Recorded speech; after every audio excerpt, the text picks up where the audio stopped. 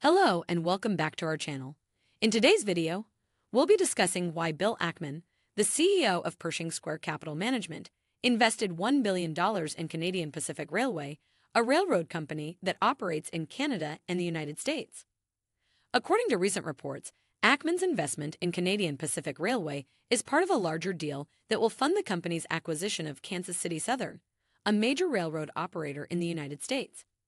This acquisition will create a railway network that spans across Canada, the United States, and Mexico, making it the first of its kind. So, what makes Canadian Pacific Railway such an attractive investment opportunity for Ackman and his investors? Let's take a closer look at the company's financial health and recent developments. Firstly, Canadian Pacific Railway has a strong financial foundation with a debt to equity ratio of 1.05, which is lower than the industry average. The company's operating margin is also impressive at 41.3%, which is higher than the industry average of 29.6%. These numbers indicate that Canadian Pacific Railway is in a strong financial position and is well equipped to handle any challenges that may arise.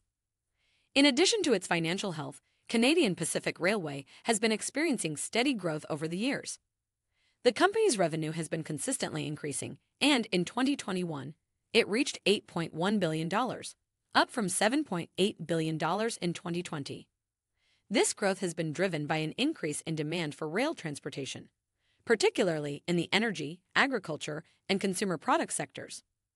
Another factor that makes Canadian Pacific Railway an attractive investment opportunity is its management team, led by CEO Keith Creel.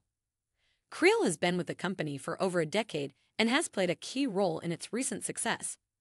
Under his leadership, Canadian Pacific Railway has been recognized for its sustainability efforts and has received numerous awards, including being named to the Dow Jones Sustainability World Index for the ninth consecutive year. Furthermore, Canadian Pacific Railway has been expanding its reach through strategic acquisitions, such as its recent acquisition of Kansas City Southern. This acquisition will give Canadian Pacific Railway access to major cities in the United States, including Chicago and Houston, and will create a network that spans across Canada, the United States, and Mexico. This will allow the company to offer more comprehensive and efficient services to its customers and is expected to create significant value for the company and its shareholders. So, is Canadian Pacific Railway's stock overvalued or undervalued? According to recent reports, the company's stock is currently trading at a price to earnings P/E ratio of 23.16, which is slightly higher than the industry average of 21.59. However, the company's forward P/E ratio is 19.47, which is lower than the industry average of 20.75. This suggests that the stock may be undervalued when looking at future earnings potential. It's also worth noting that Bill Ackman has a history of successfully investing in undervalued companies and has a track record of generating significant returns for his investors. His investment in Canadian Pacific Railway could signal that he sees potential for the company to continue its growth trajectory and create value for its shareholders. In conclusion, Bill Ackman's investment in Canadian Pacific Railway is a positive sign for the company and its investors.